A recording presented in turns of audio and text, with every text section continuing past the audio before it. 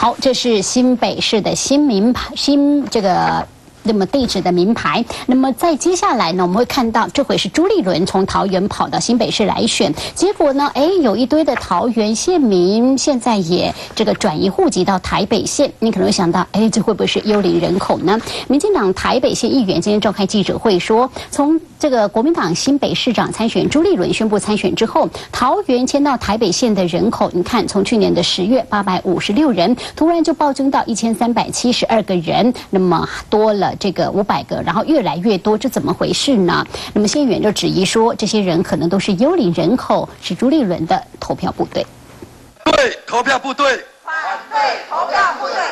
大动作召开记者会，民进党台北县议员排排站，为的就是台北县近来突然暴增的人口数。朱立伦开始宣布要参选新北市的时候开始，这种现象，而且是增加的蛮多的。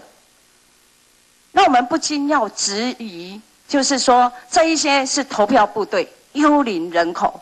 桃园县为了拼升格，在今年就寄出许多优惠抢人，但这些优惠却打动不了民众的心，反而陆续从桃园县移入台北县。从去年十月开始，桃园县迁入台北县的人口是八百五十六人，但在今年三月朱立伦宣布参选后，人口数就突然暴增到一千三百七十二人。这些数字的变化让民进党质疑，这些人根本就是投票不对。我们不得不怀疑。国民党利用他们一贯的手法，企图用幽灵人口来改变、来影响我们二零一二年新北市市长的选举。呃有很多幽灵人口已进台北县，那为了是新北市的选情，您怎么看？我不晓得这个事情。这些突然涌入台北县的人口，到底是真的爱台北县，还是爱选举？检调单位恐怕要仔细查一查。三立新闻综合报道。好，这新北市的部分，至于。